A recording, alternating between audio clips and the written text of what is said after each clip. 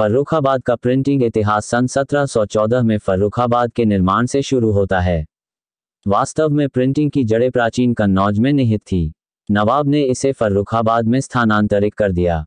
फर्रुखाबाद में आर्थिक गतिविधि को गति देने का मकसद था, ताकि अधिक से अधिक लोगों को रोज़गार प्रदान किया जा सके। इसके लिए नवाब ने हरियाणा से प्रिंटिंग में उस्ताद संप्रदाय साध लोगों को यहाँ बुला बसाया। जिस मोहल्ले में बसाया उसका नाम पड़ा साधवाड़ा। फर्रुखाबाद में साध समाज का अपना एक अनोखा व अपना एक अलग स्थान था। छपाई वस्त्र उद्योग में दुनिया में इन्होंने अपना डंका बजाया। सिल्क साड़ी, स्कार्फ, लिहाफ आदि अनेकों वस्त्र प्रिंटिंग के कार्य से ज़िले को सबसे अधिक रेवेन्यू देने वाला संप्रदाय बनाया। थोड़ा समझने की कोशिश करते हैं कौन है, कैसा है, ये संप्रदाय, क्या है इनका इतिहास। द पीपल ऑफ़ इंडिया नामक पुस्तक में इस संप्रदाय के बारे में जो कुछ भी लिखा है आज के संदर्भ में अक्षरश सही है। औरंगज़ेब के समय का एक चित्र भी इनकी आज की वेशभूषा को चरितार्थ करता है। साध, संप्रदाय सीमित संख्या में एक जनजाति नहीं, पर एक बेहतर संप्रदाय है। इसमें ऊँची जाति के हिंदू, ब्राह्मण, बनिया, चीपर्स या रंगरेज, सुनार आदि कोई भी शामिल हो सकता था। अधिकांशतः इनकी आबादी फतेहगढ़, बनारस व उत्तर भारत में बहुत सीमित संख्या में बसती है। साध का मतलब है सत्य। ये संप्रदाय किसी भी प्रकार की मूर्ति पूजा, गंगा या जमुना पूजा में विश्वास नहीं करता, ये सिर्फ़ सत्य की पूजा करते हैं।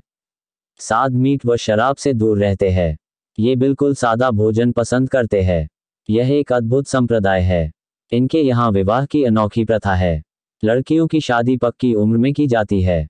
लड़कियों को वर चुनने का अधिकार होता है। इसके लिए इनके यहाँ चौकी आयोजित की जाती है। जहाँ लड़कियाँ वर चुन लेती है और वर के साथ चली जाती है। लड़की अपने पति के साथ ज़िंदगी भर प्रतिबद्ध रहती है। सात प्रतिभाशाली उत्तम, संपन्न व्यापारी होते हैं। इनका कोई मंदिर नहीं होता और न कोई पुजारी होता है। इनके घर के बुज़ुर्ग ही इनके मार्गदर्शक होते हैं। ब्लॉक द्वारा कपड़े की छपाई के इतिहास के सबूत सन 1601 से शुरू होकर ईस्ट इंडीज, हालैंड, पुर्तगाल से होकर भारत में कब आया निश्चित नहीं कहा जा सकता। हैंड प्रिंटिंग भारत का एक प्राचीन शिल्प है। भारत को अपने हस्तशिल्प और हाथ से तैयार की गई वस्तुओं के लिए एक अंतर्राष्ट्रीय ख्याति प्राप्त है।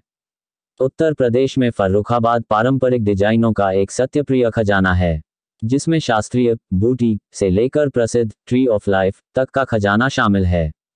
आज फर्रुखाबाद की हाथ की छपाई पूरी दुनिया में प्रसिद्ध है और यह मूल कारीगरों की शिल्प कौशल की गवाही देती है।